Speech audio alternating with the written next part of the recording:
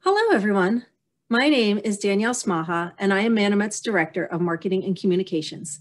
Thank you so much for joining us today to learn more about the shorebirds of Louisiana and the habitat they need to thrive.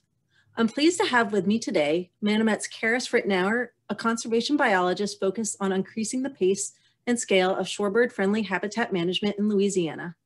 Karis is joined by Jason Olszak, wetland bird specialist for the Louisiana Department of Wildlife and Fisheries.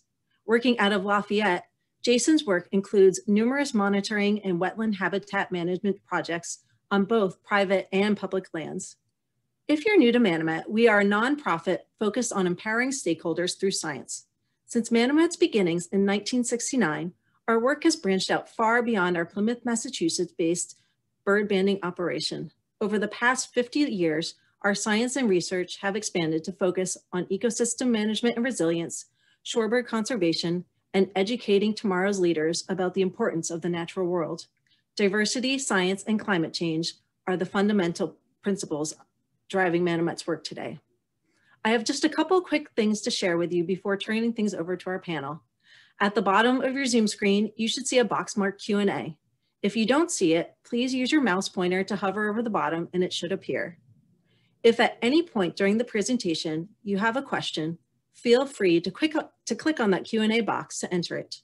We will answer as many questions as possible at the end of today's presentation. Finally, if you're unable to stay for the entirety of today's presentation, it is being recorded. We will send you a follow-up email with a link to the recording in the next day or so. Thank you again for joining us. Now, I'd like to turn it over to Karis and Jason.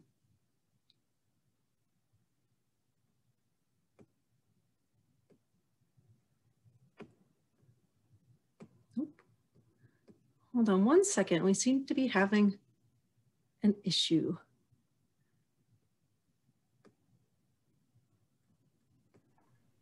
Thank you for your patience. Thank you, Danielle. Hi, everyone. Thank you for joining us today. Um, if you're not from Louisiana, I expect that if you if you were imagining a Louisiana landscape, you might think of something like this. If you're thinking a little bit more naturalistically, you might be picturing something that looks more like this. But I think it's unlikely that an image that would first come to your mind is something that looks like this. And so today, Jason and I want to introduce you to the shorebird species and the wonderful and varied habitats within Louisiana that they use to not only migrate, but breed and uh, spend the winter here. Before that, a little bit about Manomet and our shorebird work and why shorebirds are so important. Shorebird populations are in decline, uh, and that is especially true for long distance migrants. Studies have shown that more than uh, that, that of the 19 long distance shorebird species uh, more, uh, have declined in their population more than 50% in the last 40 years. So Manomet works throughout the Americas to conserve shorebird habitats and to encourage shorebird conservation. We do that through three main avenues, uh, science and conducting research to understand these birds and their habitat needs better. Uh, site conservation, working with the Western Hemisphere Shorebird Reserve Network or WHSRN to protect the sites that are most important to imperiled shorebird species. And habitat management, working on the ground to improve and expand shorebird habitat. And we do this all by partnering with other organizations, government agencies, and communities and individuals on the ground everywhere we work. The Western Hemisphere is divided into three main flyways for shorebirds, the Pacific Flyway, Atlantic Flyway, and the Mid-Continent. Most people, when they think of shorebirds, think of the beach, and so would be more likely to think about uh, shorebirds migrating through uh, on one of the coasts, but the mid-continent is also an incredibly fascinating and diverse area for shorebirds. And there are many species that are just as fascinating as those that migrate on either coast. Uh, Manomet has played a key role in developing uh, shorebird conservation plans for both the Atlantic and Pacific Flyway, and the Mid-Continent Shorebird Conservation Initiative is currently underway, and Manomet is uh, helping to ensure the future conservation of the mid-continent. Manomet already has a presence in many parts of the mid-continent. Um, our Arctic work in uh, northern Alaska, where you see that star, uh, with breeding birds, uh, long distance migrants who breed in the far north Arctic uh, include buff-breasted sandpipers, which you see there with some very cute chicks, and American golden plovers, as well as many others. But we're just gonna take a look at these two for right now. Um, in a normal year, uh, Manomet staff uh, working together with other partners would be up in the Arctic uh, fairly soon this spring um, and uh, performing species surveys, deploying nest cameras uh, to look at nest survival and depredation, as well as deploying GPS tags.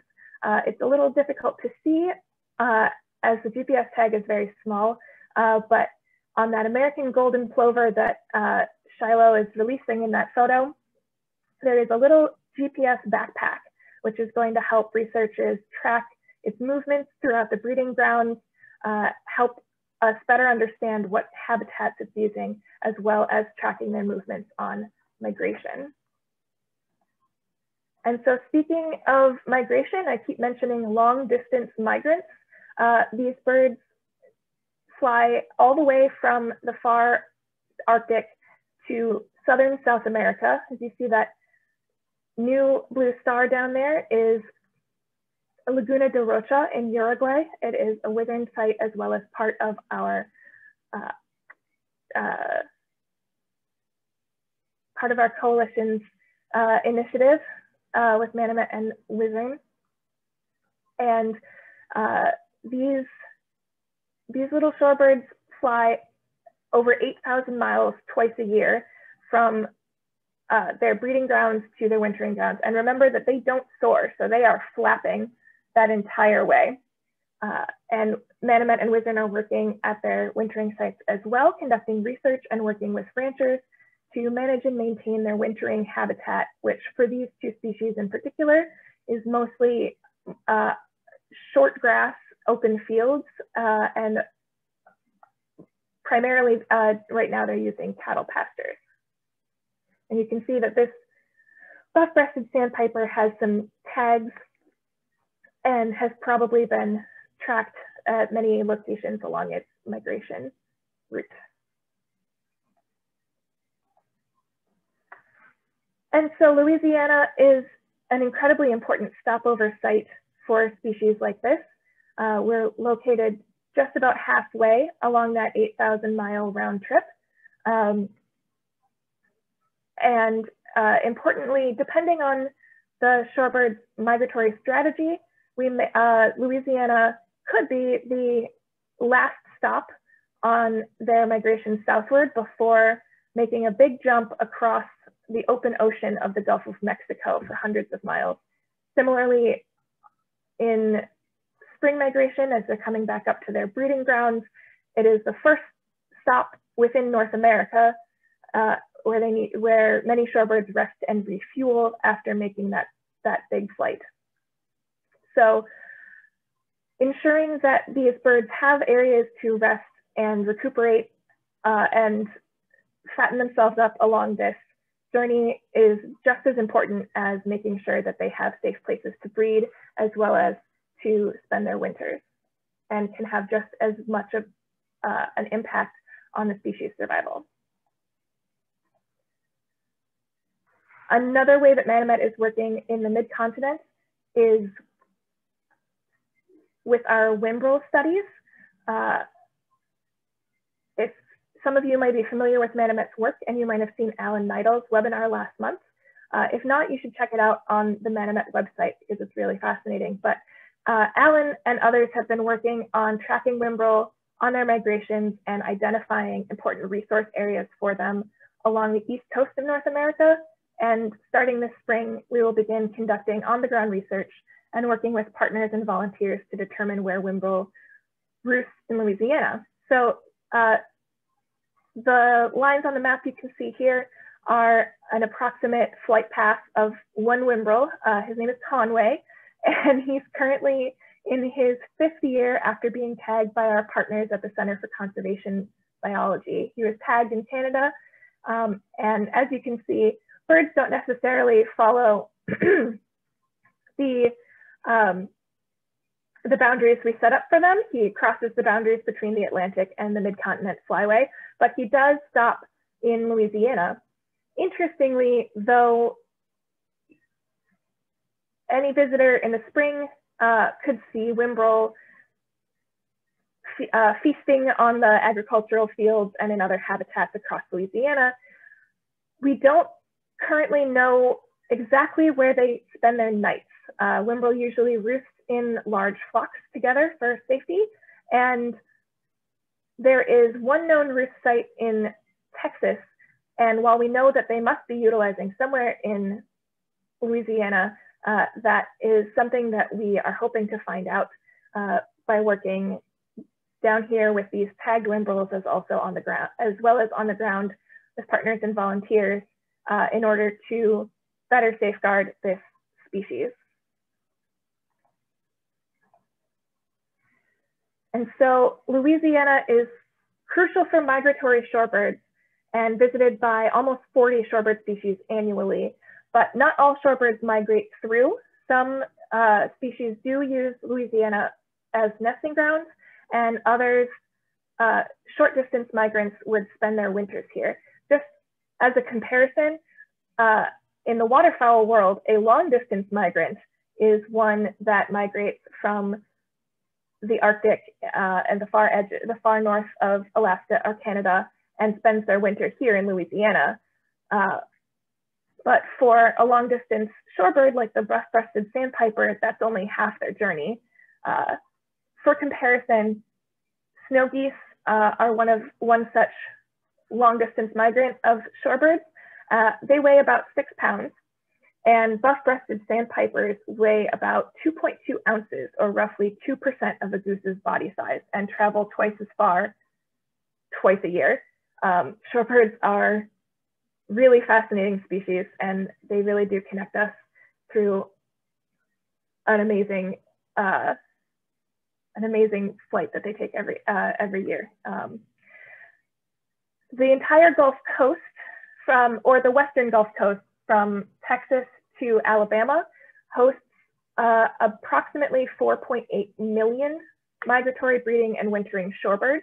Louisiana is only a small part of that, but together with our portion of the Gulf Coast, as well as the birds that primarily use the Mississippi alluvial valley or farther north in Louisiana, uh, it is estimated that Louisiana hosts approximately a million shorebirds every year. In addition to having an important place along the, along the migration path in terms of proximity to the Gulf, Louisiana is also crucial for shorebirds because much of the interior of the United States and Canada is dry or drying, especially uh, with climate change. And Louisiana reliably has wetlands. It's a very wet state and there's always somewhere for the birds to go. Um, and so safeguarding this habitat for their stopover sites is going to be very important, uh, both now and in the future. And so before I turn it over to Jason, um, I've been talking a lot about conserving shorebird habitat, and I think it's worth exploring just for a minute what shorebird habitat means. Um, so these birds are looking for open habitat. They do not enjoy being under trees or woody vegetation or uh, tall grasses or anything like that. Uh, similarly, they like minimal vegetation primarily open water or mudflats. Um, shallow flooding, anything from a saturated sand or mudflat to approximately six inches uh, deep in water, depending on the shorebird species. Uh, some of them have longer legs or longer bills that help them probe more deeply in higher water, uh, and some of them are much smaller, like these shown here. They like very little disturbance. Um, a perfect pristine beach is not going to be much use to a shorebird if it's full of dogs running loose and uh, tourists uh, sunbathing. Um, and then, of course, they want abundant invertebrates, which is the primary food of most of these shorebird species that they need to stock up on along their migration route. So with that, I will turn it over to Jason, who's going to tell you a little bit more about the specific species and the habitats that they use within the state of Louisiana. Thank you, Karis. Um, so what I want to do then is uh, start out by um, introducing a lot of the, the, the, species, the habitats, and some of the conservation challenges that we face for shorebirds, or for managing shorebirds in Louisiana. Um, uh, and I also initially want to introduce a few, few terms or, or regions that I'll be talking about uh, quite often in this presentation. Um, looking at the map there, uh, when I refer to the Mississippi Alluvial Valley, uh, that's that uh, label number one in the map. And that's that floodplain of the Mississippi River along the eastern edge. Um, uh, very fertile soil that was um, dominated historically by bottomland hardwoods. Um, also of, of, importance to shorebirds is that Gulf Coast area. So you've got uh, labeled three, the coastal marsh. You've got the um, uh, labeled two, the um, hardwood swamp area uh, south central Louisiana, and also the, the Cajun prairie or that historic long um, uh, tall grass prairie uh, labeled number nine there in uh, southwest Louisiana. Um, so many, many changes have taken place uh, with the dominant ecological communities uh, within Louisiana. And though these, these overall communities have changed, sometimes drastically, the regions of high shorebird use have not. Um, so historically, shorebird use was was dominated by birds along the, that, that coastal region, the beaches, coastal marsh, um, barrier islands in Louisiana. Uh, but also there was a, a, good bit of use um, along that Mississippi Valley uh, on the sandbars, river scours, and oxbows um, along the river valley there in a, in a forest dominated landscape. Um, and then also at that in that Cajun Prairie area, uh, shorebird use was along the wetland margins and, and likely in areas that had, had burned. Um, go ahead and switch the slide there, Karis. So yeah, there's been a lot of habitat loss, but there with that comes some some new opportunities. Um, uh, coastal wetlands, as, as probably a lot of people have heard or, or read about, um, coastal wetlands are being lost at a, at a pretty rapid rate in Louisiana. Uh, in the last 80 years, we've lost 2,000 square miles to a variety, for a variety of reasons, erosion, uh, subsidence, channelization, saltwater intrusion, all contribute to loss of, of, um, of coastal marsh habitat, um, including barrier islands and beaches. Um, and just really quickly to some of the restoration and protection techniques that, that, that we employ include river diversion, um, getting that sediment back out to, to rebuild marsh um, from, a, from a channelized river, um, strategic placement of dredge spoil. Um, the, the rivers are still dredged. It's just a question of where you're going to put that sediment once you've, you've dug it out of the, the river channels for, for transportation. Uh, terracing is another one. Uh, and then and then construction of breakwaters um, to to to protect uh, shoreline from from wave erosion. Um, now moving up to to the Cajun Prairie and the Mississippi Alluvial Valley. Um, so again, that was that was historically dominated by by forests. Um, it, in the MAV specifically, 75% uh, of that forest had been removed in the last 100 years. Um, this this is you know it's alluvial soil. It's very fertile. Um, the thought was that's going to make some great uh, agricultural land. Uh, soybeans, cotton, corn, and rice uh, were the predominant um, uh, crops grown there. However, it is still it's still flood prone. So, so there's a lot of uh, opportunities lost as far as agriculture goes uh, in the MAV. Um, and then the Cajun Prairie too, less than 1% of that tall grass prairie remains. Um, most of that was converted to rice, crawfish, and as well to a growing extent, sugarcane uh, is dominating that landscape. Um, so management of these, these converted agriculture lands inland in Louisiana has a huge potential to benefit shorebirds. Next. so yeah, overall, historically, there's been 45 species documented uh, by the Louisiana Ornithological Society. Now that's including a lot of accidentals or, or even extinct, like Eskimo curlew is on that list uh, as well. So that's just the, the historic uh, uh number of birds. But more generally, uh, as Kara said, it's somewhere between 35, 40 species uh, annually in Louisiana. Um, two major habitat joint ventures, which are partnerships, federal, state, non, non-governmental organizations um, that, that lead the way in conservation planning for shorebirds in Louisiana, are the Gulf Coast Joint Venture and the Lower Mississippi Valley Joint Venture. Um, both of these use uh, bioenergetic models um, in, in, planning for shorebird conservation. So that takes into account, you know, populations. How many birds do we expect to be using landscapes in Louisiana? Um, bird energy requirements uh, in the form of invertebrates. Um, uh, what is the energy content of, of those prey items? And then the prey density within the habitat that we have.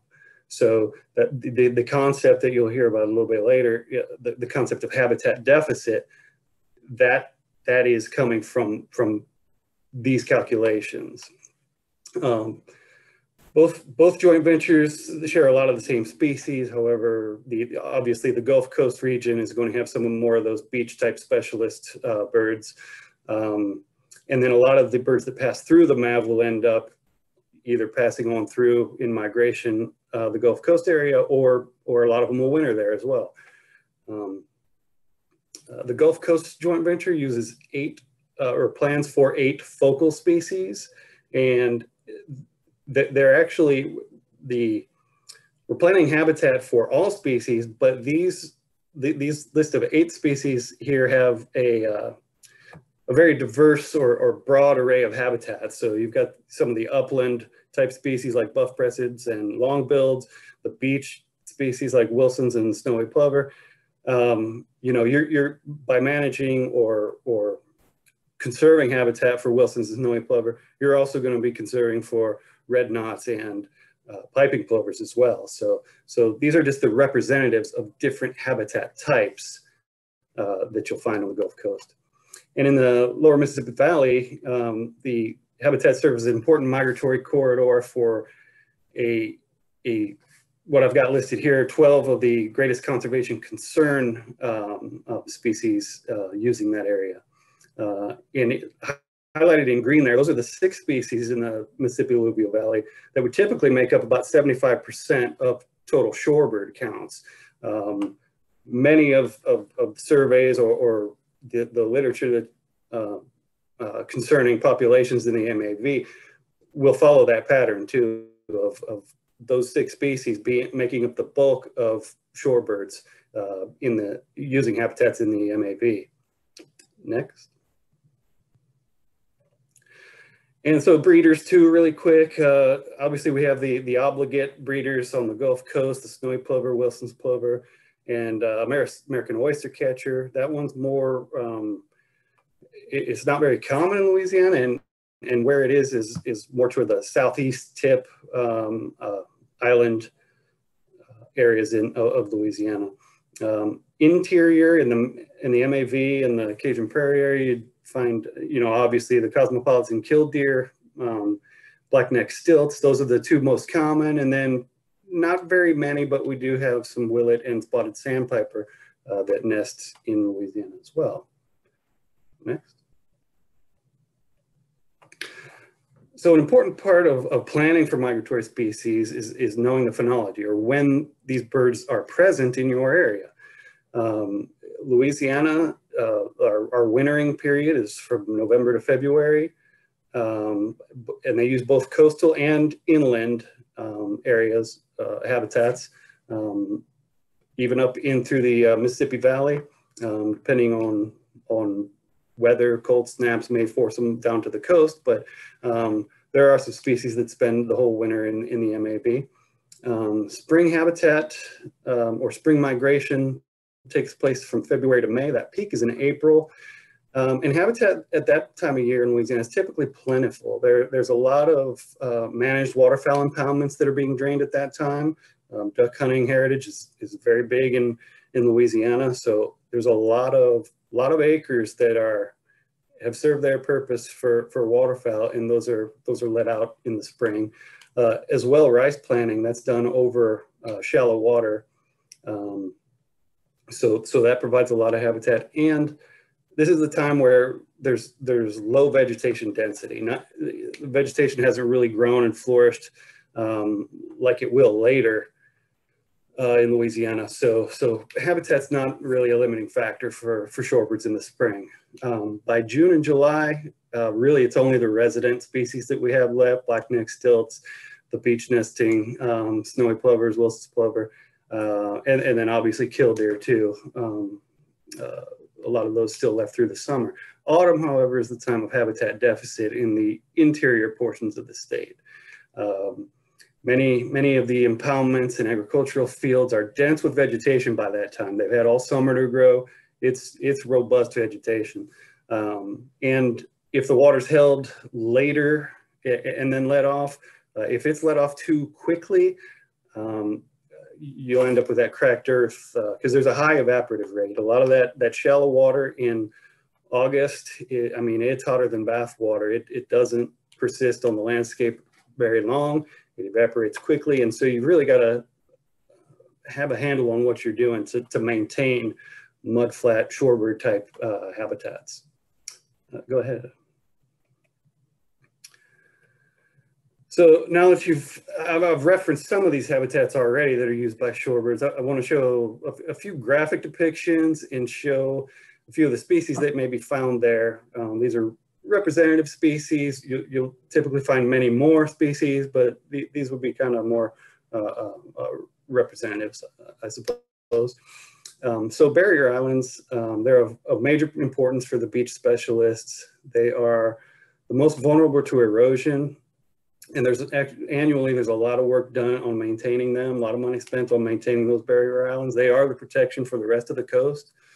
Um, uh, there are some but but but similar mainland sandy beaches are not very common in louisiana uh, at all. Next.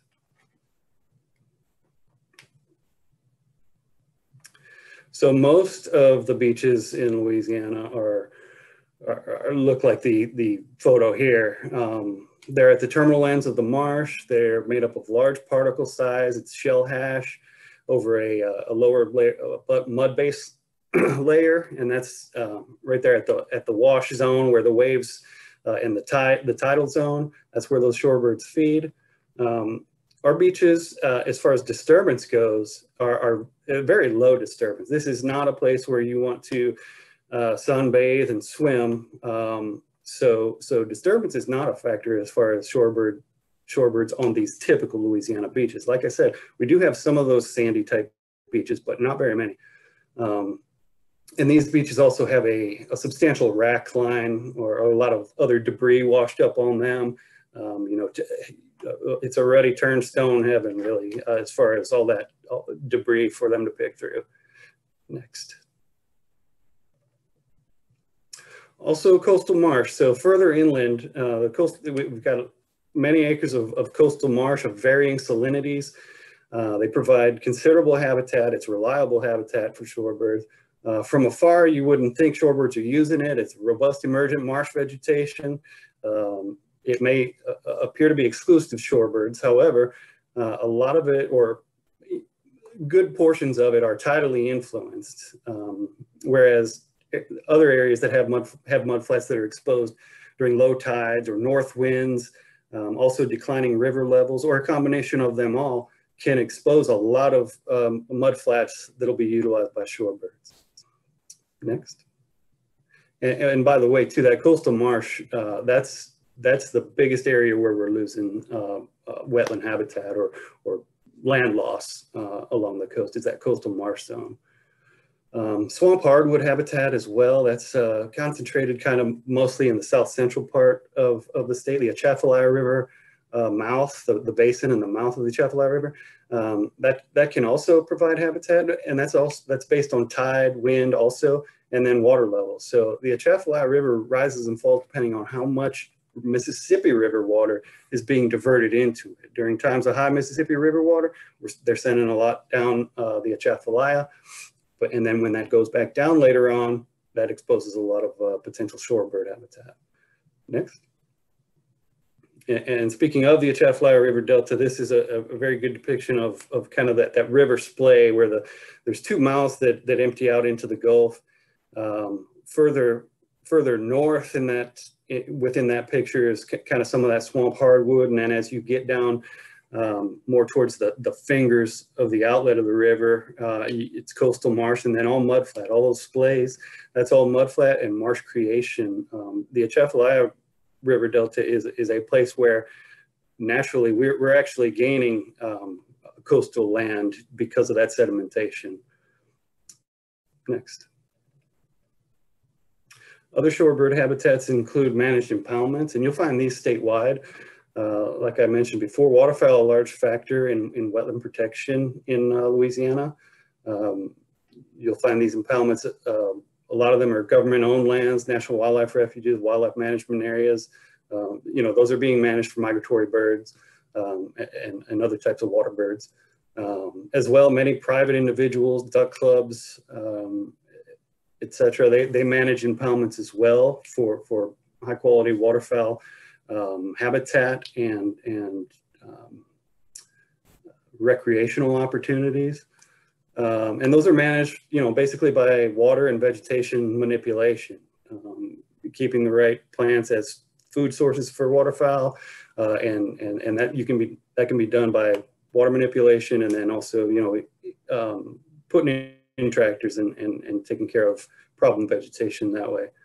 Um, as well, the Wetland Reserve Easement Program, or what was formerly known as the wet, uh, WRP, it's WRE now, but um, that's been a large factor in the restoration of hydrology and wildlife habitat in the MAV, in the Mississippi Valley. Um, again, that, that they're, they're reforesting a lot of that lost bottomland hardwood, but with that goes the, the hydrology restoration. So there's a lot of impoundment construction as well. Um, since its inception, uh, almost coming up on 30 years ago, uh, Louisiana um, has protected more than 300,000 acres through WRE, uh, and that includes greater than 30,000 acres of, of, shallow water impoundments that at times can be managed for, for uh, shorebirds. Um, next. So agricultural lands, again, like, like I mentioned before, this is a, a, an area of, of high potential for management for all kind of water birds, and shorebirds included. Um, recall the location uh, on, on, the previous map I showed, uh, the, the, MAV, it's, it's dominated by lands in the MAV and that former Cajun Prairie. Um, it's uh, naturally it's low land, winter, winter rains and river floods would, would put water on that landscape. Um, however, there, there are also a lot of those properties that have levees and water control structures that can hold water longer than a, a typical river flood would, would have, have that land inundated. Um, and then there, a lot of those are managed as well. The ability to hold water is essential for rice and crawfish. So levees and water control structures are an important part of the infrastructure on this landscape.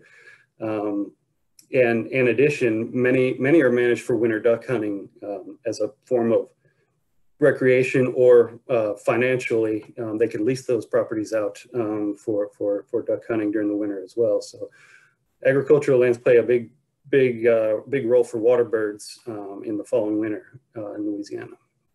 Next. And finally, we have grasslands um, too for some of those uh, upland specialists. Uh, scattered, they're in the form of scattered pastures and sod farms. Um, and these would be, you know, typically the, the species that would have historically used those burn areas in, in Cajun Prairie or, or up the Red River Valley. Um, and they now benefit from the effects of grazing. Rather than burning off that excess vegetation, it's being grazed off or, or mowed in the case of a sod farm. Next.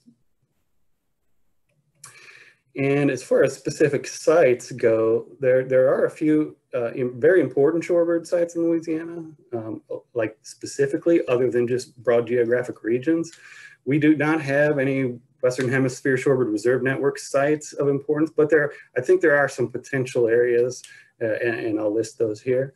Uh, the first one would be down there in Southwest Louisiana, the Rockefeller uh, uh State Wildlife Refuge and the Southwest Louisiana uh, National Wildlife Refuge Complex, which includes Old Sabine, Cameron Prairie, and Lacassine National Wildlife Refuges. Um, uh, and that includes impoundments, um, beaches, uh, coastal marsh type habitats.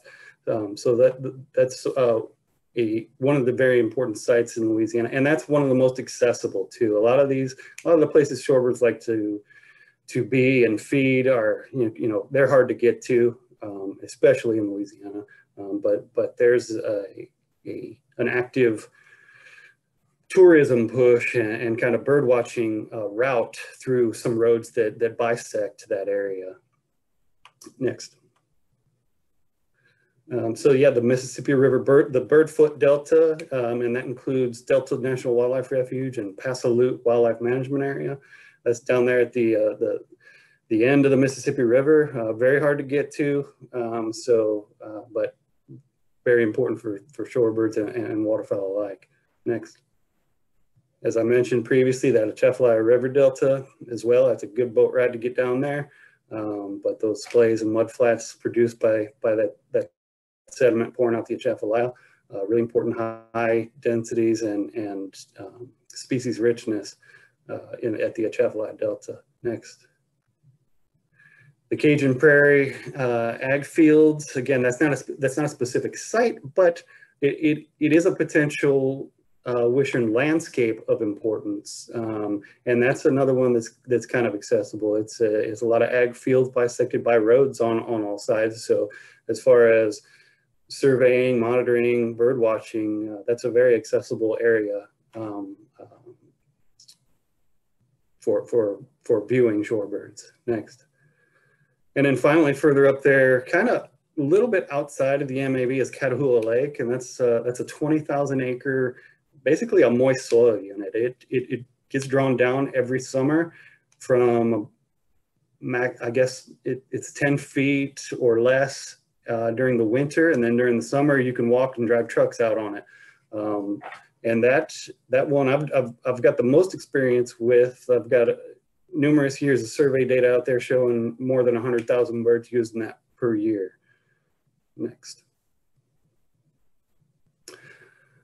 Um, so yeah, I'm gonna just reiterate that, that, that in most years, spring habitat is not limiting. Um, the, the, the, what you see here in this picture is, is, rice is a rice field with seeds germinating.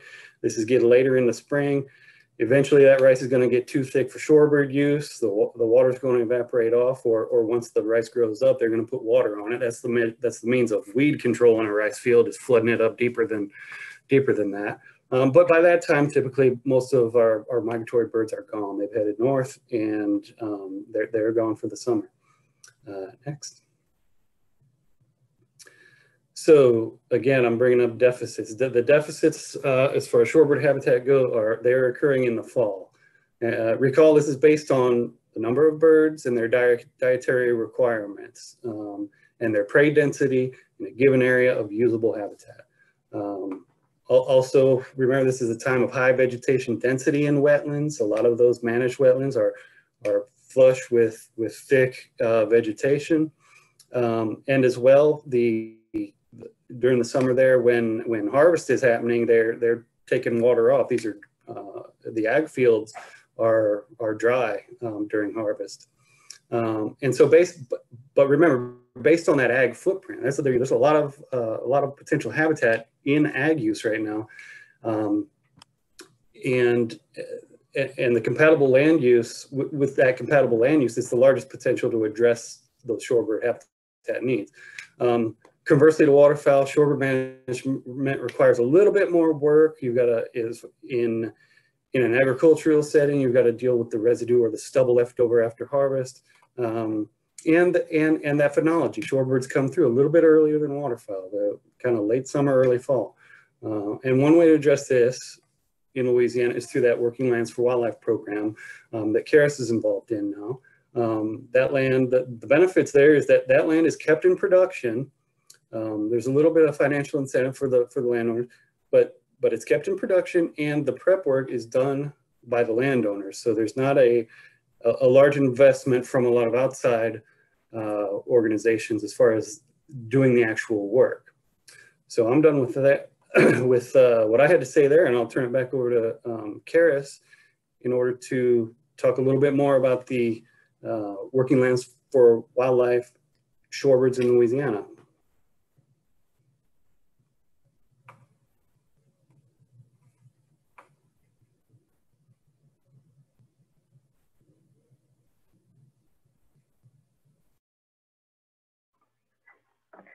All right, thank you so much, Jason. Um, so the uh, Shorebirds of Louisiana Wetlands uh, program, as Jason said, uh, was actually born out of a Manomet hosted uh, Habitats for Shorebird, Habitats for Shorebirds workshop uh, that was hosted in Mississippi in 2015. It is now a state priority for Louisiana within the federal Working Lands for Wildlife program. As Jason mentioned, this is using uh, uh, far, uh, farmland that is in production, uh, uh, land that is producing food, um, and uh, can can be used to to produce food for not just humans but also for hungry shorebirds. Um, So this program provides incentives as well as technical assistance to landowners and producers to create that fall migratory habitat that is so vitally needed here in Louisiana. Um, and uh, this is primarily uh, Manomet's focus in Louisiana currently and, um, and my focus as well.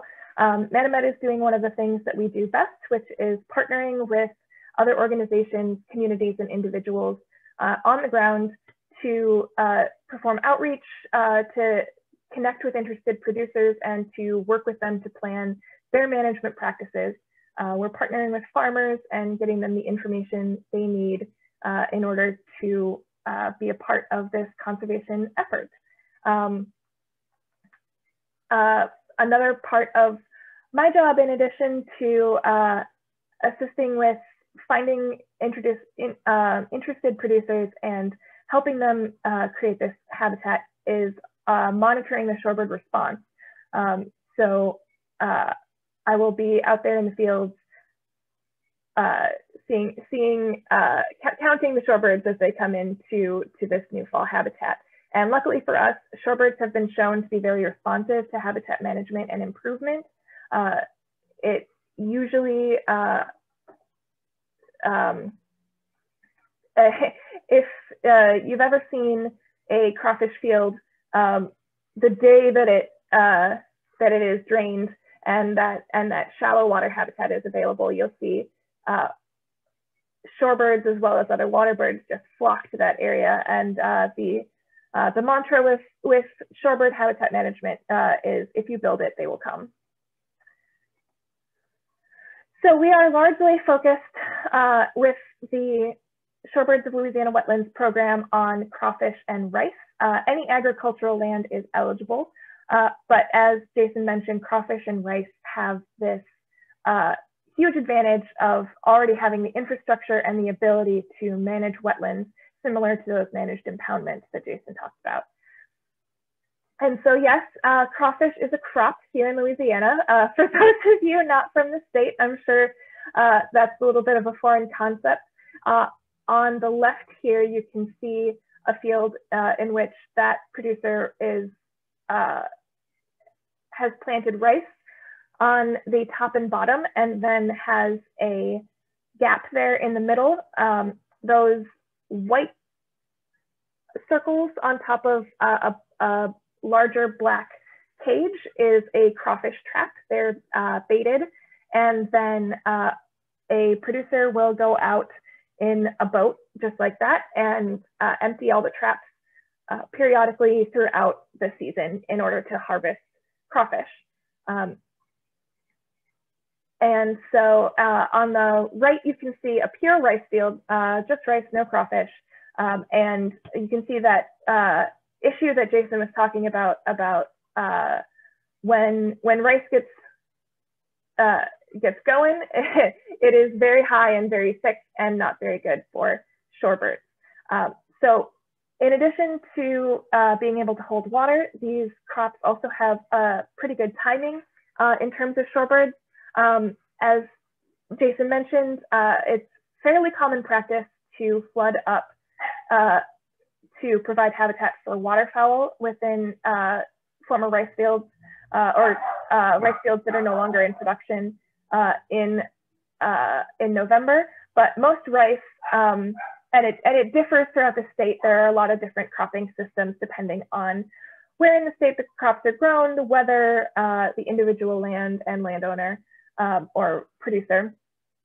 But um, rice uh, can usually be harvested in August, um, except for uh, in far southern Louisiana, where there's often a ratoon crop or a second crop where you harvest in August and then uh, you can actually, the growing season is so long that you can actually grow a second crop, um, which uh, can be a little, uh, can is, is great for food production, but uh, not, not ideal habitat for shorebirds. So uh, we're focused especially on rice in the MAV uh, farther inland where there isn't usually a ratoon crop.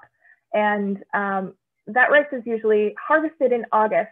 And then there is this, um, this window of time uh, from, from September to November uh, where there's a huge opportunity to flood those fields and uh, and allow shorebirds to come. When I say flood, by the way, um, this, these programs do not require pumping of any kind. Um, it is simply closing water control structures so that any water that, that comes in naturally through rain uh, and other precipitation um, will stay in the fields and create that, uh, that prime uh, saturated shorebird habitat. Uh, and especially through natural um, flooding and drying cycle will will keep that on the on the habitat. And so really um, any amount of uh, of habitat we can get uh, to close that gap between September, uh, the end of August and November is going to be good for shorebirds. Um, while many species uh, come through early in that July to October um, migratory uh, timeline, there are other species such as dunlin uh, and, some, and some other species who tend to migrate towards the end of that. And so especially these rice-only fields can be really helpful for them. Uh, crawfish is usually uh, produced on a two-year cycle. So uh, they'll be harvested in, they'll be uh, seeded uh, within the field or the rice field in May and then uh, water will be kept on the field for a whole year and then they'll be harvested in May and then the water will be drawn off the landscape. And like I said, uh, crawfish fields are, uh, when you drain the water, are especially good for, for birds. There's a lot of nutrient buildup that happens throughout that year. Um, and so while it's in production, the crawfish fields, even without uh, abundant vegetation of rice, is usually too deep for water birds. It can be up to three feet, uh, or uh, sorry, too deep for shorebirds. It can be up to three feet. Um, but what uh, our program incentivizes farmers to do is to actually keep that water on the landscape um, past May and into uh, June, uh, July, and maybe even August, and then to release it slowly. Um, that way, the uh, that releasing water, that sh shallow water habitat and those mud flats will be available during that uh, July and August um, and early September uh, prime shorebird habitat, uh, prime shorebird migratory habitat area. So uh, you might be asking yourself, what, what can you do? Well, if you live in Louisiana and you own, farm, or manage land, you can contact me or your local NRCS office uh, to learn more about the Shorebirds of Louisiana Wetlands Initiative. Uh, I'll have my contact information on the last slide, which will stay up for a little while. I'd be happy to, to meet with you or talk to you about how you might be able to create some of this habitat on your own land, or if you know someone who has land, uh, feel free to, to have them give me a call or send me an email. Uh, if you don't own land, but you're a birder, and this is not just uh, within Louisiana, but uh, anywhere within the Western Hemisphere, uh, you might want to uh, volunteer for the International Shorebird Survey, or ISS. This is a program that uh, is headquartered also in Manomet. Uh, you don't have to be a shorebird expert. You don't have to be the best birder that ever lived. Uh, you need access to the same site year round and to be able to survey at least three times per season. And the survey itself is very easy. It uses uh, the eBird app that if, uh, if you're familiar with birding, you might already be familiar with, and you can just submit it right on the app. Um, one of the biggest imp uh, impacts uh, to shorebird science as well as habitat management is we really, in order to do that work, we need to know how many birds are on the habitat. We need to know uh, what kind of habitat we're using. We need to know when they're using it.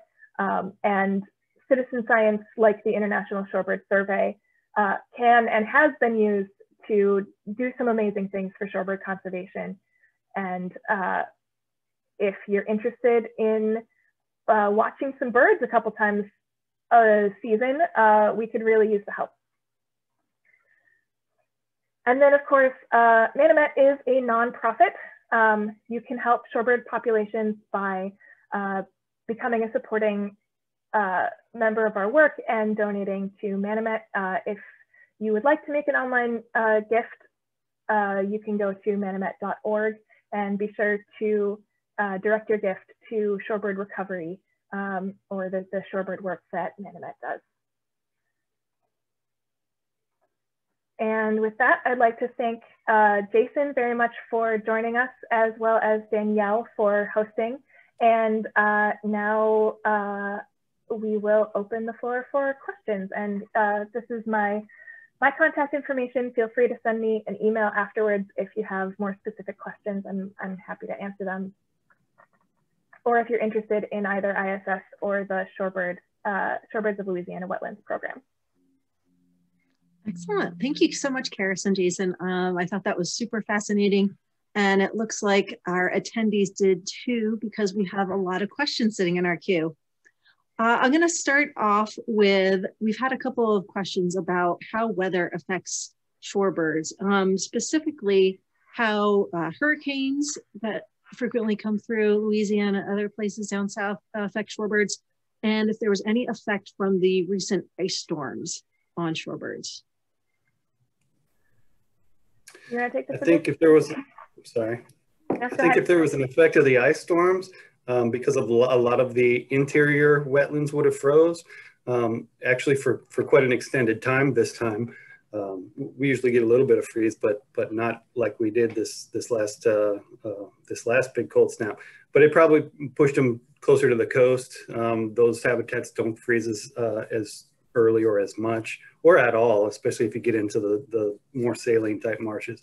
So that that was very likely what happened with those with those birds as far as hurricanes go, I, I don't think they have an an an, uh, an immediate impact in a given year. Maybe long term, if they change the amount or the quality of habitat in a specific area, they might shift um, bird densities kind of out of out of or into. Uh, sometimes they can have some beneficial impacts for shorebirds. Um, I just want to add to that really quick. This past year, we had a really active hurricane season, and there was some impact uh, on managed lands for shorebirds, um, depending on how they're able to manage those water levels. Uh, some, some of those uh, impounded wetlands or agricultural lands uh, had too much water, after a couple of the larger hurricanes and couldn't um, uh, weren't weren't able to drain it low enough uh, for the that habitat to be open to shorebirds, um, as well as obviously you know uh, damage to crops, damage to the infrastructure um, can have a big impact on uh, whether or not individuals, uh, producers, landowners, as well as uh, organizations and, and public lands can can perform the management that they would like to do for shorebirds. Excellent. Um, so what is the impact of hunting on shorebird populations? Are there shorebirds that are hunted uh, specifically in Louisiana? Louisiana is actually a, a, a very big um, state for two species of shorebirds that are hunted, uh, Wilson snipe and woodcock. Woodcock's an upland kind of forest type bird.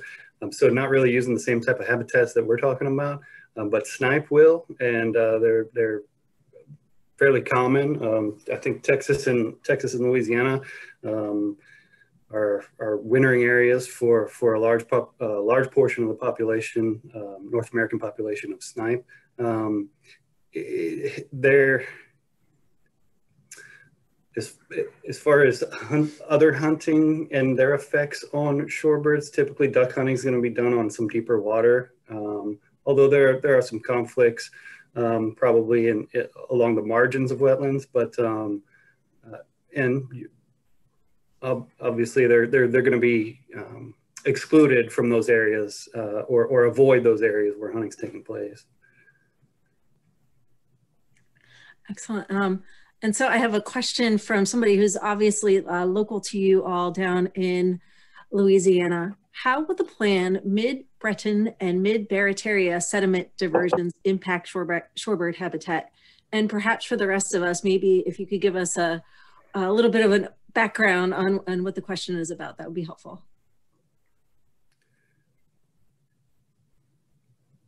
I'll, I'll take that one too. The, usually, so so a river sedimentation or a diversion project is where you you cut into the main bank of a river so that that sediment, rather than going all the way out to the, the terminal end, the mouth of the river, and in the case of the Mississippi River, at the mouth of the Mississippi, that you get into the deep part of the ocean.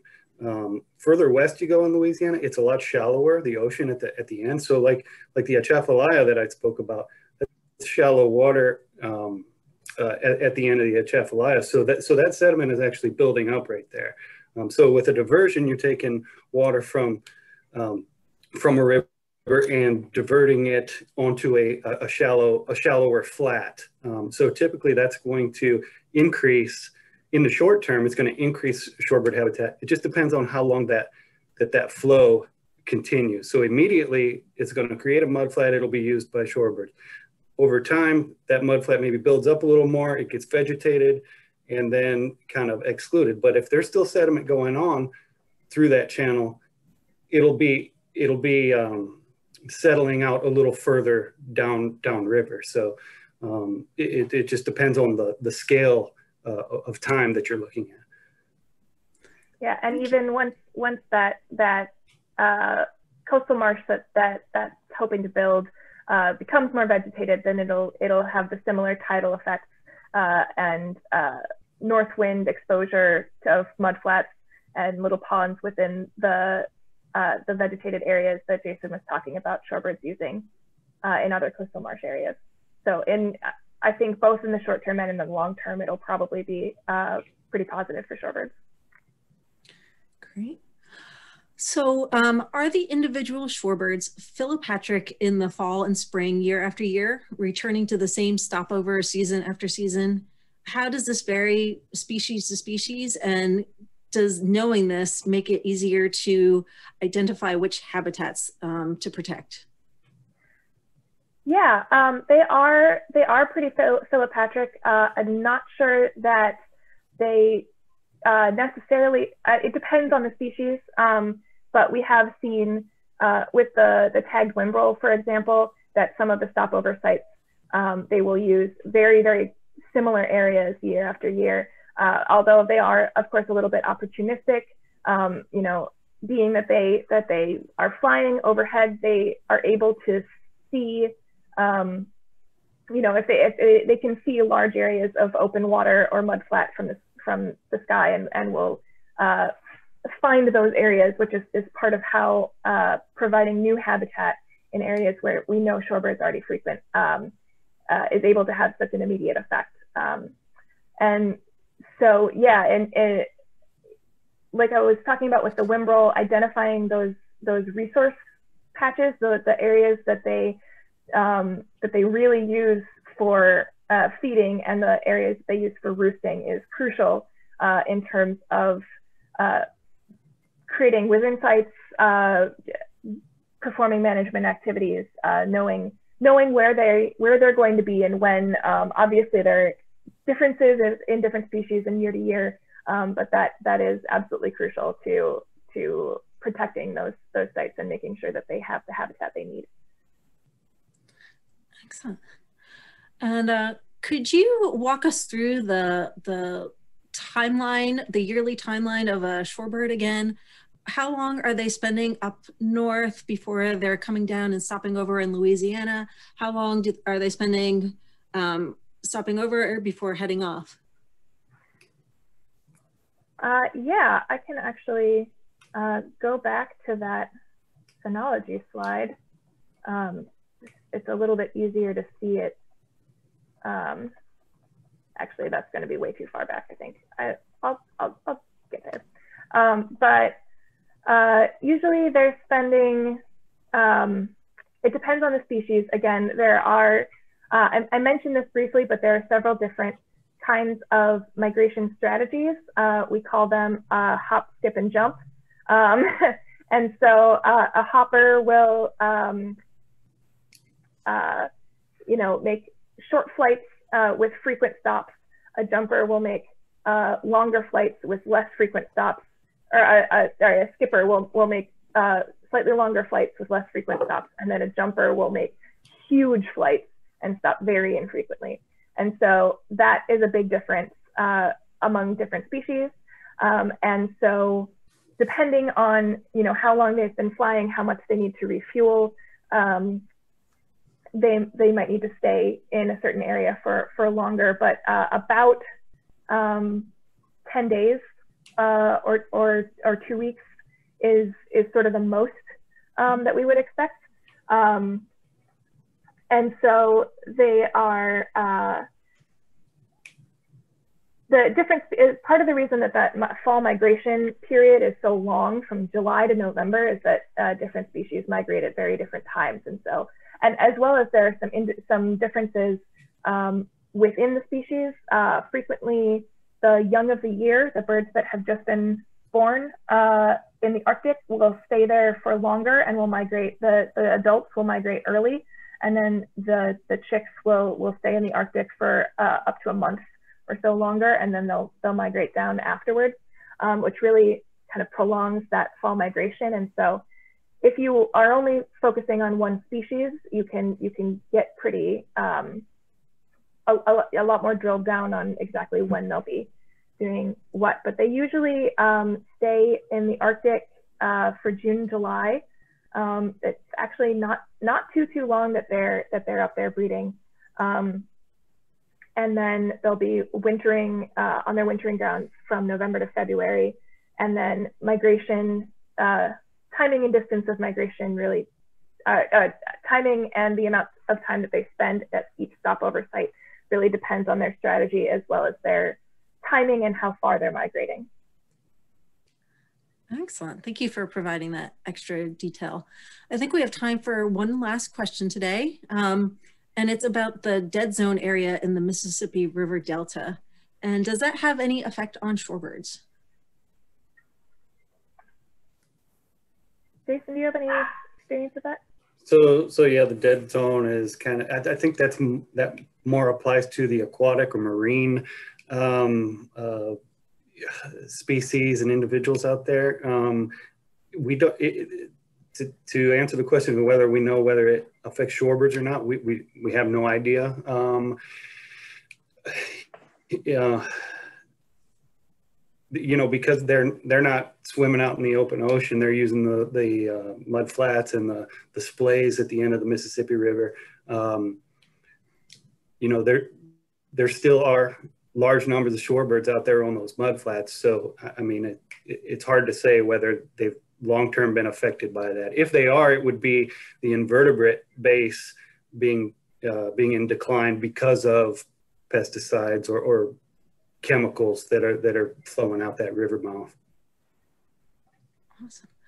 Well, um, thank you, Karis and Jason, and thank you everybody today for bringing your questions and taking part in our conversation. I know that many of you are longtime supporters of Manomet, and I wanted to say thank you.